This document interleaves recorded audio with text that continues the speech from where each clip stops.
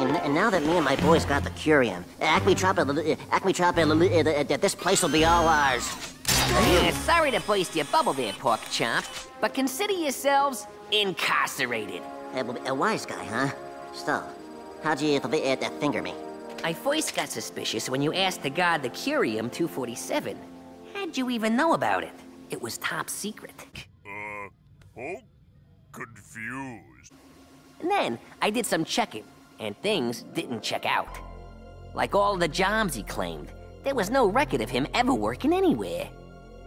Not even at the Acmetropolis Police Academy. And when I did some snooping at the home, it turns out our little orphan Hammy was adopted the day after Duck left. By Stony and Bugsy. But the topper was your I can can. While we thought we were tracking Stony and Bugsy, they were tracking us. With a built-in transmitter.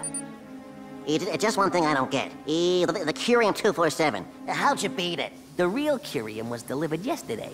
I used the fake stuff to expose you before you could expose me.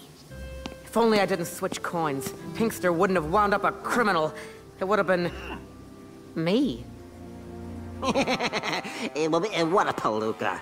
Eh, the, the fix was in for me to be adopted by Bugsy and Stony all along. I was uh, worried that some goody two-shoes would uh, pick me. That's why I suggested a flip of a coin. I knew you had a two-headed coin, and I wouldn't hesitate to use it. uh, just the same.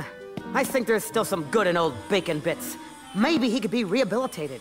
Maybe he can still contribute to society. Maybe one day he'll prove to be a model citizen. Maybe... And, and maybe you should shut it, Duck. This ain't... This ain't... Uh, this ain't over, folks.